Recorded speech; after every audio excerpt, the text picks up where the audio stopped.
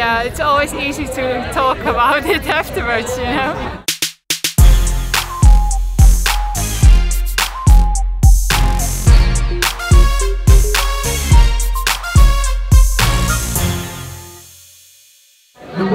It's uh, I have to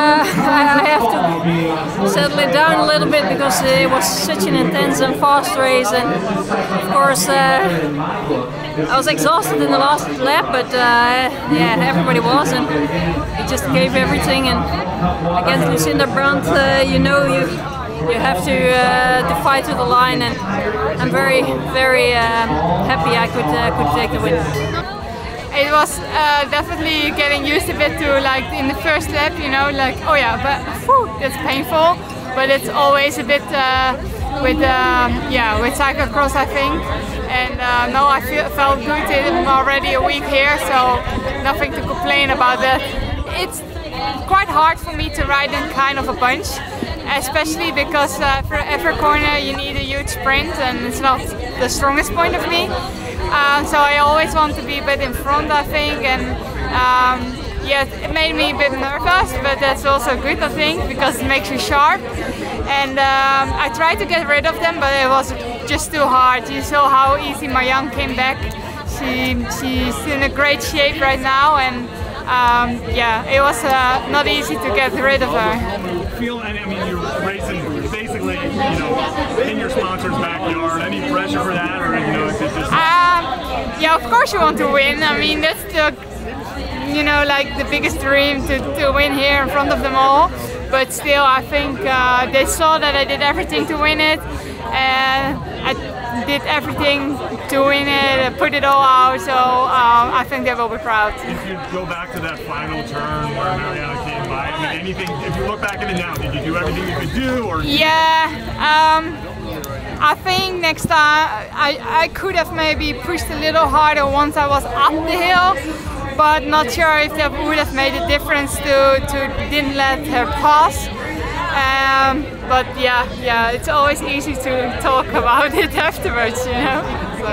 It was very cool to be here. Uh, America is really cool. Uh, I came here Friday because I missed the flight before, so I'm really happy to be here. Um, so the race was really tough, uh, and my chain dropped off uh, in the third or fourth round. So I have to came back in front of the field, and that cost a lot of power.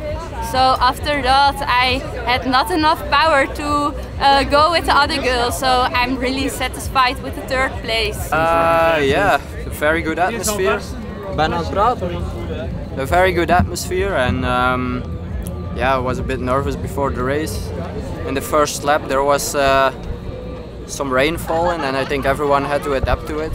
Toon Aerts did a really hard crash on the on the pavement then Quinten and Michael, so uh, my chain dropped on the first running part and um, I knew I didn't have to, to hesitate and directly go to the front because um, I knew it would be a very long and a hard race and um, yeah, the, the, the, the, brown path that was ridden from the other races were really getting very slippery. It was just like ice, so um, it was good for me. I'm, I'm not a very big guy, so um, I could really manage my bike very well. I think I changed tire pressure five or six times in the race.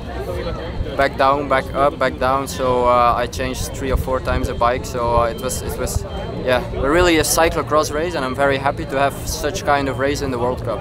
So did you feel like the lines that were burning, did, were you uh, making new lines out there? The, the ruts that were established, did they not work for your race? No, I knew I always had to search for the green parts, the grass. On the grass you had a lot of grip and on the, the brown parts of the course there was really no grip so uh, I think I, I, rode all the different lines I could ride. So uh, in the descent, in the uphill, and the normal uh, corners.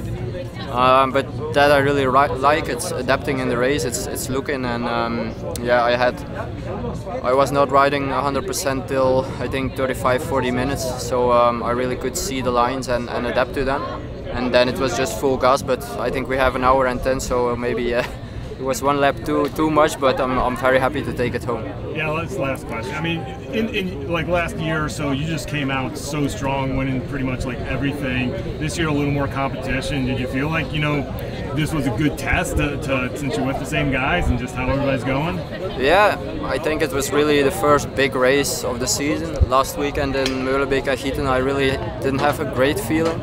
Um, this week I did a little bit less than normal, just resting, get over the jet lag, and um, I'm really kind of guy that when I rest really, really good and a lot, and I'm 110%. So it's just yeah to Fayetteville now, two days of recuperation, and um, it was a really, really hard race for everyone. So I think we will see that in Fayetteville. Yeah, it was very hectic with uh, with a little bit of rain, so. Uh, yeah, it was uh, very. In the beginning, was tactical, but then in the second lap with the rain it was very slippery. So uh, from then on it was just uh, stay on the bike and uh, uh full gas. What's uh, I mean you have your teammate out there Eli's uh, out front. I mean what's the what's the strategy there? Are you still trying to like close the gap? Or are you trying to you know save something for Arkansas? Maybe yeah, that's your chance? Haley was today the strongest and I just I just go and just follow him and then uh, Quinten Hermans kwam closer and closer and from then on Eli was uh, right away from me, and from then on, I, uh, I wrote my own pace, and this was just enough for uh, the second place.